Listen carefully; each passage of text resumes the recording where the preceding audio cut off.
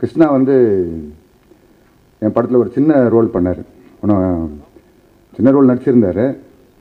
அப்புறம் திடீர்னு ஒரு நாள் க காலைல ஃபோன் பண்ணி ஆனால் ஒரு படம் ஒன்று பண்ணியிருக்கிறேன் படம் பண்ண நடிச்சிருக்கிறேன் நினச்சிட்டு சரி என்ன படம்பா அப்படின்னு சொல்லியிருந்தேன் இல்லை நான் தான் டைரக்ட் பண்ணியிருக்கேன் அப்படின்னு முடிஞ்ச சேனலில் காப்பி எடுத்துட்டேன்னா ஆடியோ லான்ச் அதான் உங்களை கூப்பிட்டேன் ஒன்று எனக்கு உண்மையிலுமே இது வரைக்கும் எனக்கு இப்படி ஒரு உணர்வு கிடச்சில்லை ஏன்னா அப்படியே அதிரடியாக ஒரு செய்தி ஆனால் மகிழ்ச்சியான செய்தி.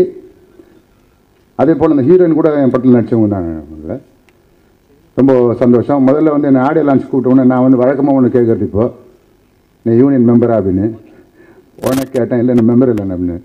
சரி போய் முதல்ல மெம்பர் ஆகிடுப்பா மெம்பர் ஆன பிறகு தான் நான் வரணும். ஏன்னா சங்கத்தில் நான் இருக்கிறேன் அப்படின்னு. மறுநாள் காலையிலே போய் இயக்கம் சங்கத்தில் உறுப்பினர் ஆனார். உறுப்பினர் ஆனது எதுக்குன்னா நான் என்ன ஏன் அதுக்கு சொல்கிறேன்னா இப்போ உறுப்பினர் ஆகாமே படம் பண்ணி பண்ணலாம். பல விஷயங்கள் நடக்குது. அதனால இந்த தேசிய விருது வாங்கின தியாகராஜன் குமார் ஆரணி ஆரண்யகாண்ட படம் இருக்கு இல்லையா? அவர் நான் வந்து ஜூரியாவும் நான் போயிருந்தேங்க.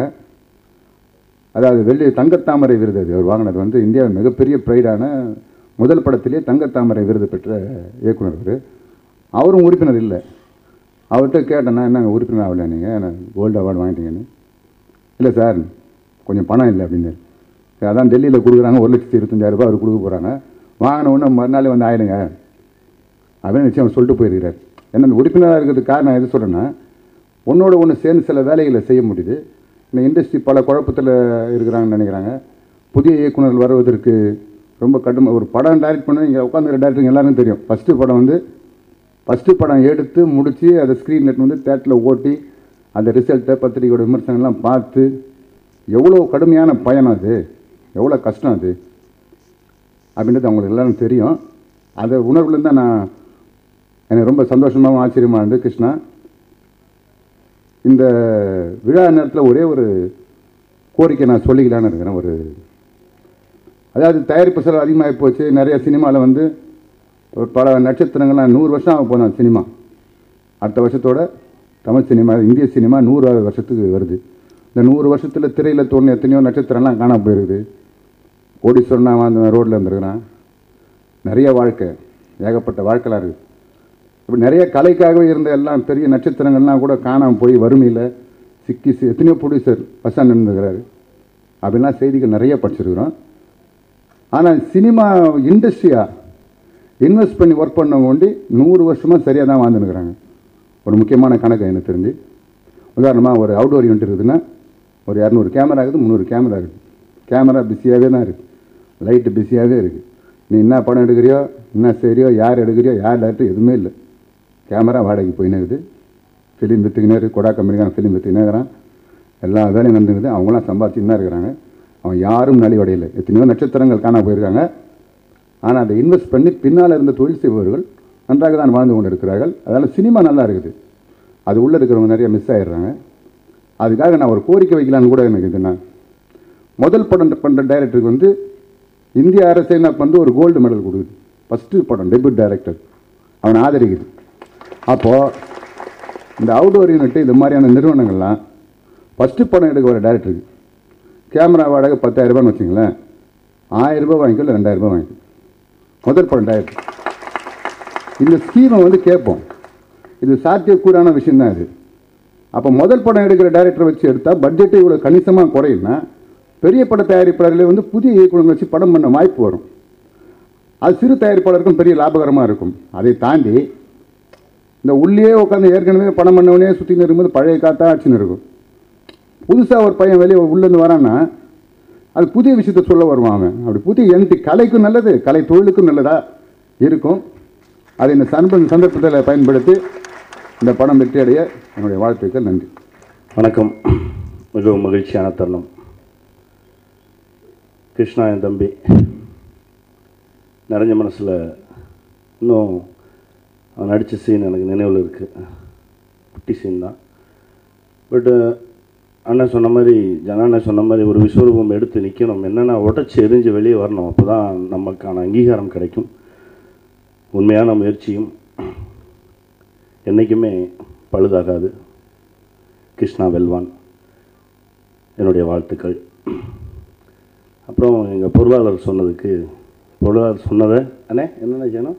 நான் வழிமொழிகிறேன் நன்றி. ஃபேமிலி சப்ஜெக்ட் அப்படிங்கிறது ஒரு மெட்டி ஒரு சீரியல் ஸ்டஃப் ஆகிட்டு இந்த காலத்தில் தைரியமாக இது என்னால் ஓட்ட வைக்க முடியும் அப்படிங்கிற நம்பிக்கையோட மீராவுடன் கிருஷ்ணா பண்ணியிருக்கீங்க கிருஷ்ணாவுடன் நாங்கள் என்று தமிழக மக்கள் அனைவரும் உங்கள் பின்னால் இருப்பார்கள். நன்றி. நான் அசிஸ்டண்ட்டாக ஒர்க் பண்ண டைம்லேருந்தே தெரியும். சொல்லிட்டு இருப்பேன் இப்போ நான் வெளில வந்துட்டு நான் ஸ்கிரிப்ட் எழுதிட்டு அலைஞ்சிட்டு இருக்கும்போதெல்லாம் சொல்லுவேன் என் மூவியில் எதனா ஒரு இன்ட்ரெஸ்டிங் நான் நிறைய கேரக்டர்ஸ் தான் எழுதியிருக்கிறேன் நான். இதில் லீட் ரோல் மாதிரி எல்லாமே தனித்தனியாக கேரக்டர்ஸ் தான். ஏதாவது ஒன்று பண்ணலாம் அப்படின்னு நான் சொல்லியிருப்பேன். அப்புறம் நான் போயிட்டு நிறைய பேர் பார்த்துட்டு ரொம்ப வருஷம் அலைஞ்சேன் அப்புறம் நான் ஸ்டார்ட் பண்ணும்போதெல்லாம் கொஞ்சம் கிருஷ்ணா காணாம் டிசம்பர் ஆகிட்டார் எங்கே போனார்னே தெரில நிறைய பேர் வந்து ஒரு முயற்சியை கைவிட்டு போயிடுவாங்கல்ல அது மாதிரி இது போயிட்டாரோ அப்படின்னு கூட நான் சில சமயம் யோசிச்சு ஒர்க் பண்ண நேரத்தில். அப்புறம் திடீர்னு ரீசெண்டாக கூப்பிட்டாரு கிருஷ்ணா டக்குனு என்ன கிருஷ்ணா என்ன நீங்கள் என்ன பண்ணுறீங்க என்ன ஜி நான் ஒரு படம் டைரக்ட் பண்ணி முடிச்சிட்டேன் ஜி அப்படின்னு. சந்தோஷமாக இருந்தது. இவ்வளோ பேர் பேசுனதுக்கு அப்புறமே எனக்கு இன்னும் அந்த சாங்கு டியூன் இருக்குது ஸோ நல்லா இருக்குது ஸோ ஒரு ஆடியோ ரிலீஸ் சக்ஸஸ் தான் நினைக்கிறேன். இவ்வளோ பேர் பேசுனதுக்கப்புறமே டியூன் மைண்டில் இருக்குது அதே மாதிரி அந்த படமே சக்ஸஸ் ஆகும்னு ஆசைப்பட்றேன். தேங்க்யூ கிருஷ்ணாவுக்கும் அனுஷ்காவுக்கும் ஒரு ஒற்றுமை இருக்குது யாருக்கும் தெரியுமா? இவர் ஒரு யோகா மாஸ்டர் அவங்களும் யோகா மாஸ்டர்னு கேள்விப்பட்டிருக்கிறேன். ஸோ வருங்காலத்தில் இன்னைக்கு மீராவுடன் கிருஷ்ணா நாளைக்கு அனுஷ்காவுடன் கிருஷ்ணா அசினுடன் கிருஷ்ணா தமனாவுடன் கிருஷ்ணா இப்படி வரிசையாக வந்து பல சாதனைகள் செஞ்சு பல கிசுகிசுகளில் சிக்க வச்சு சந்தோஷப்பட வாழ்த்துக்கள் நன்றி. இந்த படத்தில் எனக்கு வாய்ப்பு கொடுத்த ப்ரொடியூசர் சார் அருண் விஜய்க்கும் டைரக்டர் சார் கிருஷ்ணாக்கும் என்னோட நன்றியை தெரிவிச்சுக்கிறேன். அப்புறம் ப்ரெஸ் மீடியா இந்த படத்துக்கு நல்லா ப்ரமோட் பண்ணுன்னு கேட்டுக்கிறேன். நன்றி வணக்கம். வந்திருக்கும் அனைவருக்கும் முதலில் என் வணக்கம். குறிப்பாக சேலம் மாவட்டத்திலிருந்து இரவு முழுவதும் விழித்து பசியுடன் சிற்றுண்டி சரியாக கூட உண்ணாமல் அன்பிற்காக மட்டும் வந்திருக்கும் அத்தனை நல்லுள்ளங்களுக்கும் குறிப்பிட்டபடி வணக்கம்.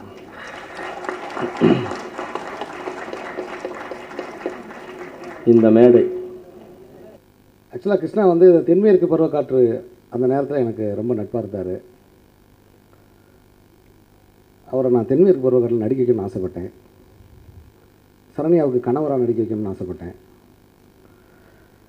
அப்போ அந்த வேலை பழுவில் நம்ம ஒரு ஆர்டிஸ்ட் எப்படி ஹேண்டில் பண்ணுவோம்னு நமக்கு தெரியும்ல. நீங்கள் நடிக்கிறீங்க அப்படின்னா என்ன ஏதுன்னே சொல்கிறது கிடையாது. அது வழக்கமாக நம்ம பண்ணுறது சின்ன கேரக்டரா பெரிய கேரக்டரா இது என்ன ஏது அப்படின்னு நடிகர்களுக்கு ஒரு திகைப்பாகவே இருக்கான். நம்ம என்ன சொல்கிறோம்னா கிருஷ்ணா கிருஷ்ணான்னு கத்துனா கிருஷ்ணே வரமாட்டான். ஒரு கையை தூக்கிட்டு ரெண்டு கையும் தூக்கிட்டு கிருஷ்ணா கிருஷ்ணான்னு கத்துனா தான் கிருஷ்ணே வருவேன். திரௌபதி மாதிரி. அப்படி ஒரு ஒரு ஆணவ போக்கு நமக்கு உண்டு. இயக்குனர்களுக்கு வாங்க வந்து சரணடைங்க அப்படின்னு நம்ம சொல்லுவோம். அப்படி நான் ஒரு ஒரு கதாபாத்திரம் தேர்ந்தெடுத்து வச்சுருந்தேன். கிருஷ்ணாட்ட அந்த கேரக்டரை முழுசாக சொல்லலை.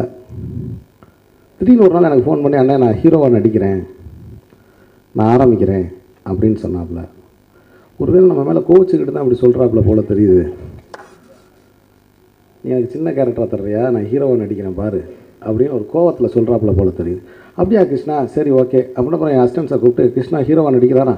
இந்த கேரக்டர் நம்ம வேறு யாராவது வச்சு பண்ணிக்கிடுவோம் அப்படின்னு சொல்லிட்டேன். உண்மையிலேயே தென்மேற்கு பருவக்காட்டில் அவர் அந்த கதாபாத்திரத்தை நடிச்சிருந்தாருன்னா எப்படி நம்ம ஒரு ஆறு ஏழு மாதம் இழுத்துருப்போம்? இன்றைக்கி ஹீரோவாக இருக்க மாட்டார். அப்போ ஒரு கதவு மூடுதுன்னா இன்னொரு கதவு திறக்குதுன்னு அர்த்தம். இதை ரொம்ப நம்பிக்கையோடு நம்ம இதை எடுத்துக்கிறணும். ரொம்ப ஒழுக்கமான ஒரு ஆள் கிருஷ்ணா. ஆன்மீகத்தில் ரொம்ப ஈடுபாடு. அவநம்பிக்கைன்ற ஒரு சொல்லு கூட கிருஷ்ணாவோட மனசில் இது வரைக்கும் வந்ததை நான் பார்த்ததே இல்லை. சினிமாவுக்காக எல்லாரும் முயற்சி பண்ணுவாங்க ஆனால் சினிமாவுக்காக தவ இருக்கிற ஒரு ஆள். எனக்கு இந்த படத்தில் ஒரு நல்ல ஒரு வாய்ப்பு கொடுத்த இந்த படத்தோட நடிகரும் மற்றும் இயக்குனருமான திரு கிருஷ்ணா அவர்களுக்கும் இந்த படத்தோட ப்ரொடியூசர் திரு அருண் விஜய் அவர்களுக்கும் என்னோட மனமார்ந்த நன்றியை தெரிவித்துக்கிறேன். என்னோட ஃப்ரெண்டு மூலியமாக ஒரு நாள் என்னோட ஸ்டுடியோக்கு வந்திருந்தாங்க திரு டைரக்டர் அப்போது இவர் ஒரு டேரக்டர் எதுவுமே எனக்கு சொல்லவே இல்லை. ஜஸ்ட் என்னோட நண்பருங்கிற மாதிரி தான் என்னோட ஃப்ரெண்டு கூப்பிட்டு வந்திருந்தாங்க. வந்தோடனே என்னோட அப்போ நான் ஒரு ஓவர்சீஸுக்காக ஒரு ப்ராஜெக்ட் ஒன்று பண்ணிட்டு இருந்தேன். அந்த பாட்டை ஒன்று கேட்டிருந்தாங்க. நானும் ஒரு ப்ராஜெக்ட் பண்ண போகிறேன் அப்படிங்கிற மாதிரி சொன்னாங்க. எதிர் அது ஃபில்மா என்னங்கிறது எனக்கு தெரியல அந்த டைமில் அதுக்கப்புறம் அந்த பாட்டை நான் போட்டு காட்டினேன். அது ஆக்சுவலாக ஒரு கம்ப்ளீட்டாக ஒரு வெஸ்டர்ன் எதிரான ஒரு டெக்னோ சாங்ஸ் அது. அதை கேட்டுட்டு உடனே இவர் ஃபேஸ் ரியாக்ஷன் நான் பார்த்தேன். அப்படி ஒன்றும் சரி இவரோட ப்ராஜெக்ட் நம்ம ஆப்ட் இல்லை அப்படிங்கிற மாதிரி நினச்சிட்டு இருந்தேன். அப்புறம் சொன்னார் இதில் வார்த்தையே எனக்கு புரியல. இப்போ வர எல்லாருமே இப்படி தான் பண்ணுறாங்கிற மாதிரி ஒரு ஸ்டேட்மெண்ட் ஒன்று வச்சுருந்தாரு. இல்லை சார் எப்படி வேணாலும் பண்ணலாம் அப்படிங்கிறத சொன்னேன். இல்லை இந்த சாங்கோட ஜானர் இப்படி அதனால் இது இப்படி தான் நம்ம மியூசிக் பண்ணியிருந்தோம் அப்படின்னு. இல்லை எனக்கு வந்து வரிக்கு ரொம்ப முக்கியத்துவம் நான் கொடுக்குற ஒரு டைரக்டர் அப்படின்னு சொல்லிட்டு பேசியிருந்தேன். சரி அப்போ இந்த படத்துக்கு நம்ம இல்லை அப்படின்னு நினச்சிட்டு ஓகே அப்படிங்கிறத விட்டுட்டோம்.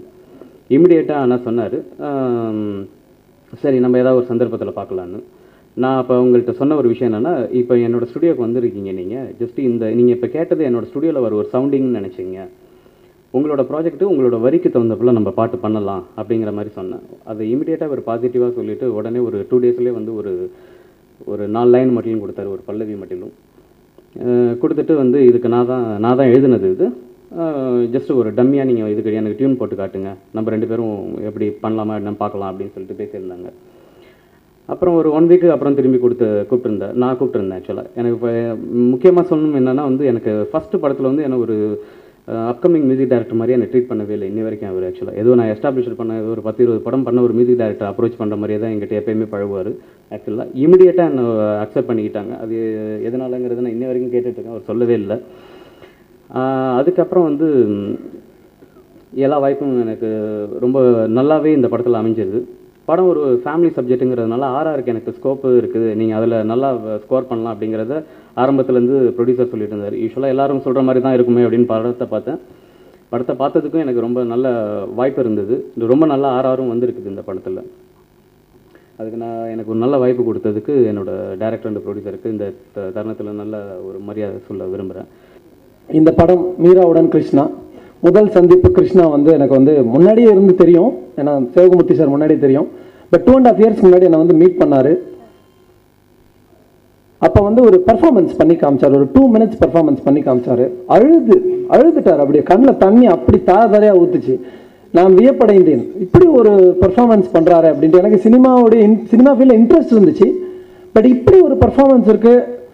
ஏன் கிருஷ்ணா நீங்க இன்னும் வெளியே வராமல் இருக்கீங்க அப்படின்னதுக்கு தயாரிப்பாளர்களை சந்திக்கவே முடியறதில்லை.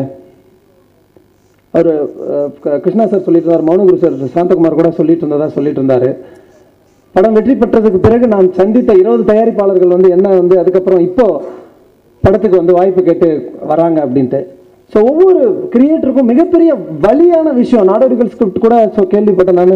எவ்வளோ வருஷத்துக்கு அப்புறம் தான் அவருக்கு வந்து தயாரிப்பாளர் கிடைச்சதா.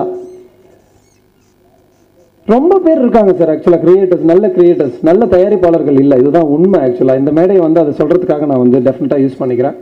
அதே மாதிரி நான் பெருமை அடைகிறேன் இப்படி ஒரு படைப்பாளி கிருஷ்ணா. மீண்டும் நிறைய படைப்புகள் படைப்பார் அவர். இந்த படத்தோட நிறுத்த போறதுல Dwarakamayi creations has introduced Krishna. அந்த ரெண்டு நிமிஷம் பர்ஃபார்மன்ஸ் தான் இன்னைக்கு வந்து இந்த மேடையை வந்து உருவாக்கியிருக்குன்னு நினைக்கிறேன்.